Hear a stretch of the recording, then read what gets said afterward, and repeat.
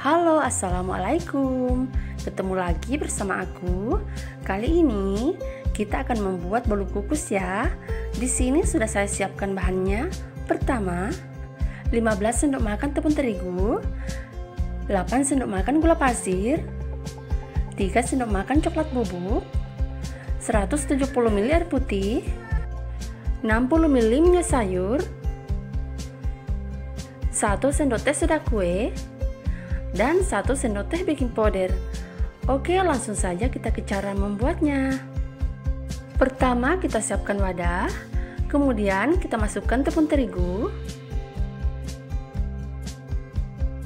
gula pasir, coklat bubuk, soda kue, dan baking powder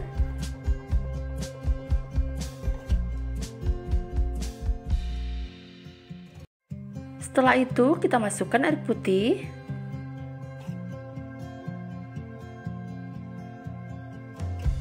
Kita aduk ya sampai tercampur rata.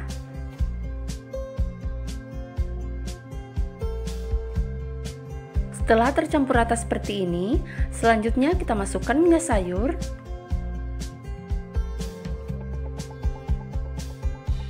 Aduk kembali sampai tercampur rata kita aduk-aduk terus ya, sampai adonan kelihatan halus dan licin. Selanjutnya, ini akan kita saring agar tidak ada adonan yang bergerindil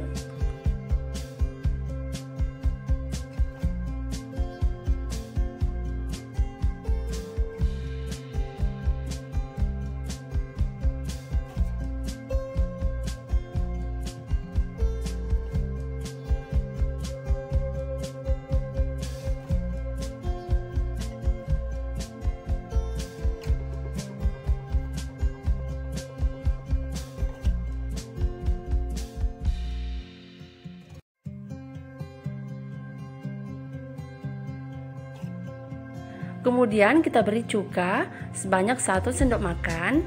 Ini bisa diganti jeruk nipis ya. Selanjutnya kita siapkan cetakan. Ini cetakannya sudah saya olesi minyak ya. Langsung saja kita masukkan.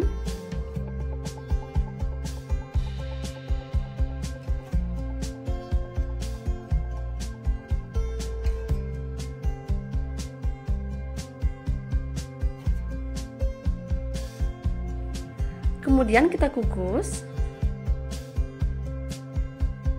Ini kukusannya sudah panas ya. Kita masukkan.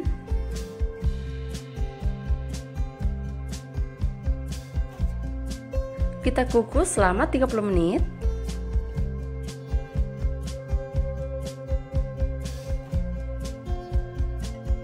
Ini sudah matang ya, kita angkat.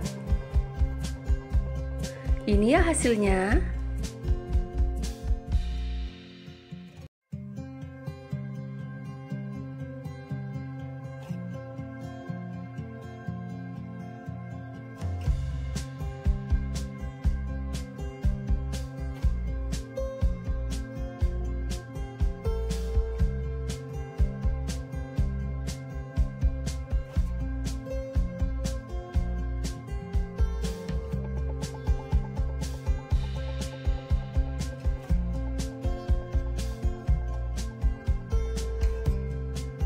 Semoga bermanfaat ya. Terima kasih.